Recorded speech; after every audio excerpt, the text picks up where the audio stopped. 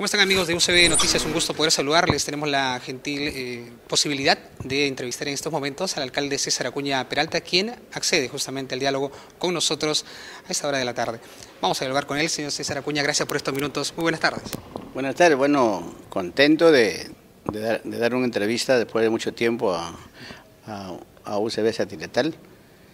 Y bueno, pues eh, dispuesto a tratar de contestar algunas inquietudes que creo que la población estará muy interesada en saber la opinión de César Acuña. Claro que sí. La primera pregunta salta evidentemente por la coyuntura que tenemos. ¿no? El presidente regional eh, José Murgia ha esbozado algunas expresiones que tienen que ver con que eh, no le toma mayor interés a sus eventuales rivales políticos, eh, de cara al gobierno regional me refiero. ¿Qué reacciones le generan a ustedes estas apreciaciones? Yo creo que a cualquier candidato debería preocuparle no quienes postulan, deberían preguntarle cuál es la opinión de la población. Entonces, el día 5 de marzo, en las urnas, el pueblo liberteño va a evaluar si es que la gestión del señor Murgia justifica para que siga gobernando la región la libertad. Entonces, eh, acá, quien va a ser el evaluador es el pueblo liberteño. Si es que le vuelvo a reelegir, estarían contentos con su gestión. Pero si es que no lo a elegir al señor Murgia, tiene que entender que ya la libertad no lo necesita como gobernante y que creo que posiblemente los liberteños le den la oportunidad a otro presidente regional que haga posiblemente cosas, cosas que la población está esperando, porque después de todo creo que los liberteños buscarán a un candidato que le dé la posibilidad que la región siga creciendo, le den la posibilidad que la región siga desarrollándose y que posiblemente van a escoger al, van a escoger al candidato que ofrezca experiencia y lo más importante ofrezca trabajar por la calidad de vida de los liberteños porque de acuerdo a lo que yo he logrado entender ha habido no se ha hecho nada por la pobreza en la región de hay pobreza hay mucha pobreza no se ha hecho nada por la desnutrición infantil, no se ha hecho nada, para mí, en mi opinión personal, creo que la región no ha cumplido con el objetivo del mejoramiento de la calidad de la educación, no se ha cumplido con el mejoramiento de la calidad de, de la salud. Y no ha hecho lo esencial.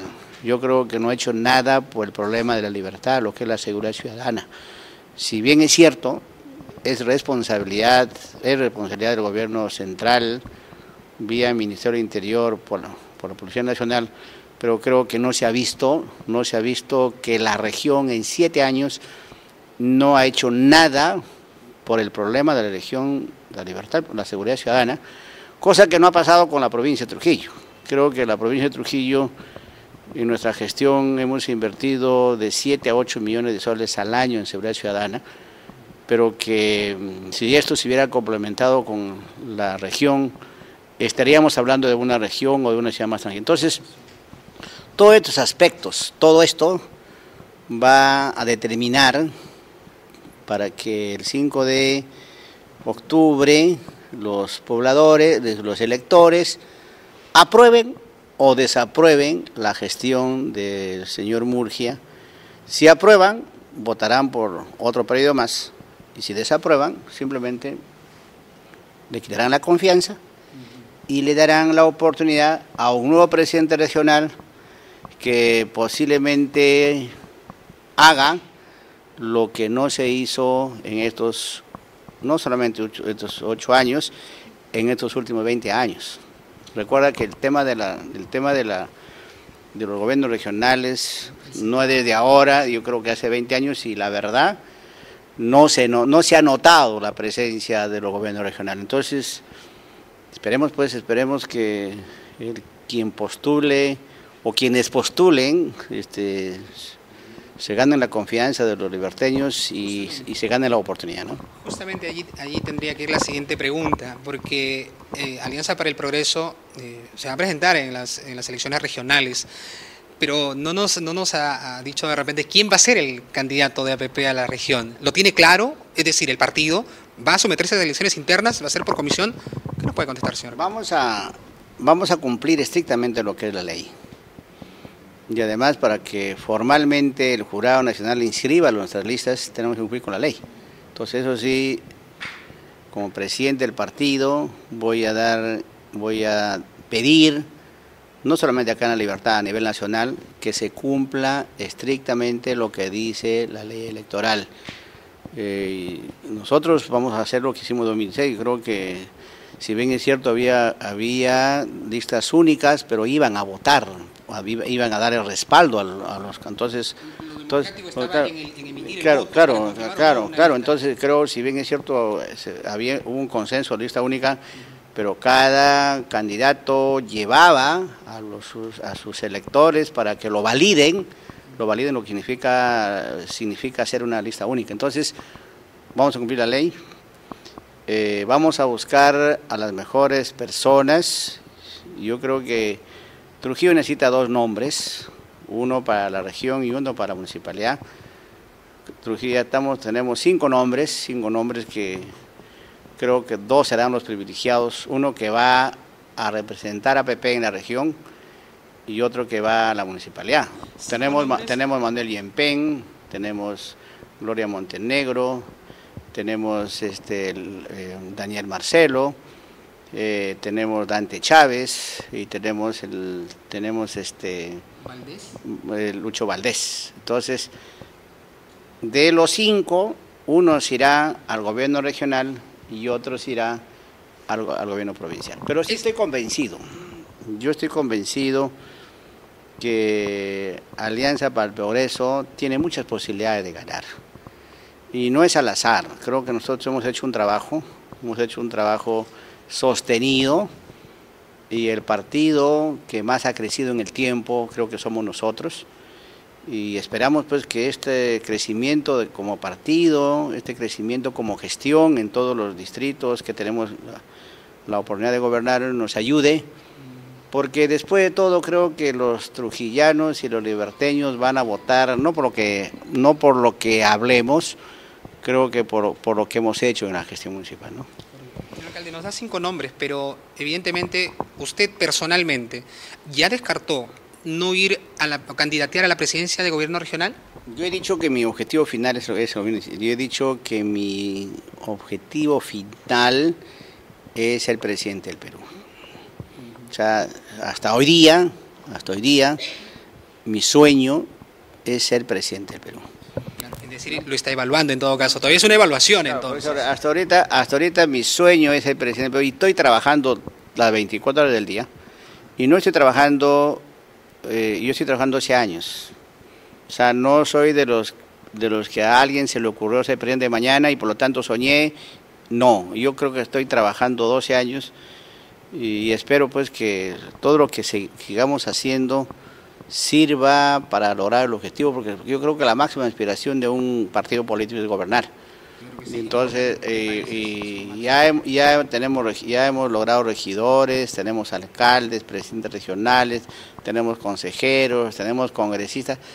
A Alianza para Progreso solamente le falta ser gobierno nacional. Entonces, vamos a trabajar, nosotros estamos trabajando en todo el Perú eh, primero que vamos a postular en todas las regiones, ya tenemos candidatos, vamos a postular en todas las provincias del Perú, en todos los distritos del Perú, todos, todos, todos. vamos a cambiar la política nacional, todos los partidos políticos nacionales que piensan postular en el 2016, no postular en 2014, se corren. Y Alianza por no se va a correr porque quien gobierna o quien hace política no debe ser solamente pensando, haciendo, no solamente debe hacer política pensando en el gobierno nacional. Quien hace política tiene que, tiene que trabajar también en hacer, en hacer gobierno regional, gobierno local. Va a ser el único partido político nacional que postula en 2014 y que no se le corre a, gobernar las regiones si no se le corre a gobernar el gobierno local. Entonces, no, no nada, nada. Nosotros tenemos, creo que vamos a cambiar la historia. Creo que estamos haciendo en 12 años lo que ningún partido ha hecho que yo conozca hasta ahora. Pero hay que cautivar a la gente para que ellos, las personas entiendan justamente el mensaje que cada candidato en las diferentes tiendas van a proponer. En ese sentido, ¿cuál es su lectura del actual panorama y del que nos esperará de cara a las elecciones más, eh, más próximas, ¿no? que van a ser la del 5 de octubre? Es decir, por ejemplo, ¿cuál es su lectura de, los demás candidatos también, con quienes va a enfrentar eventualmente uno de los cinco que señala a nivel provincial? ¿Qué, qué, escena le espera, según usted? Acá en La Libertad, definitivamente la disputa del gobierno regional está entre el APRA y APP. Y, a nivel de la provincia, la disputa está entre APP, está entre el APRA y está entre y el movimiento regional del litio. Creo que no creo que aparezca mañana otro movimiento. Yo creo que entre los tres para la provincia y entre los dos para la región estaría lo que significaría los nuevos gobernantes para la región de la libertad. ¿Le preocupa este último partido, el de Lidio Espinosa? ¿Hasta qué punto le preocuparía? No, no, no. Yo creo que todos, todos tienen, todos quieren ser alcaldes por Trujillo, todos quieren ser presidentes regionales. No, yo creo que además no hay enemigo chico, ¿no?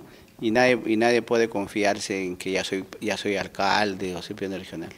¿No? luego usted pedir alguna licencia de repente de cara a, estos procesos para que le preste más atención justamente a la responsabilidad política que toca afrontar este año? Todavía vamos a, vamos a evaluarlo, vamos a revisar la ley, pero yo sigo, todo lo que estoy haciendo no estoy pensando, no estoy pensando, yo estoy pensando en el objetivo final. Que hemos trabajado y, y la verdad estoy convencido que todo lo que hemos hecho y todo lo que nos falta hacer en el 2014, 2015 y los tres primeros meses de 2016 nos va a llevar al objetivo final. Que vamos a llegar, sí vamos a llegar porque creo que los resultados del trabajo, de un trabajo en el tiempo se tienen que notar evidentemente también reconocer. Vamos, vamos, terminando, permítanos unas últimas preguntas. Usted ya presentó justamente a la provincial, o por lo menos eh, se ha hecho público el interés de Yempen de postular a la alcaldía provincial. Sin embargo, hay cuadros bastante interesantes como el señor Marcelo. ¿Esto tampoco está definido o ya hay alguna inclinación por alguna de las dos candidaturas, señor alcalde? Yo creo que es la ventaja de APP. La ventaja de APP ahorita no es como 2010, ahora tenemos para escoger. Y lo más importante, hay interés no solamente a nivel regional, hay interés a nivel nacional. O sea, hay interés de muchas personas que quisieran postular por APP en cada región, en cada provincia, en cada distrito. Lamentablemente hay un solo espacio, ¿no? Hay un solo espacio para el alcalde, hay un solo espacio para el presidente regional en cada región. Y por cada región quieren postular tres, cuatro personas. Claro que eso nos da la posibilidad de escoger lo mejor. Porque yo he dicho que el mejor partido del Perú o, el, mejor gobierno del Perú es cuando tú escoges los mejores ciudadanos como ocasión de servicio. Pregunta final, ¿usted eh, eventualmente va a proponer al candidato que sea de repente de su, de su predilección, si puede llamarse, para que postule este en las internas de su partido? ¿Particularmente lo hará? ¿Cómo, cómo va a plantear? No, vamos a, vamos, a, vamos a respetar lo que dice la, lo que dice los militantes de APP. ¿no? Vamos a cambiar la política. ¿No? Ha sido muy amable, señor alcalde. Muchas gracias por estos minutos. Muy bien, regresamos a Estudios Centrales, UCB Noticias, información a tu alcance.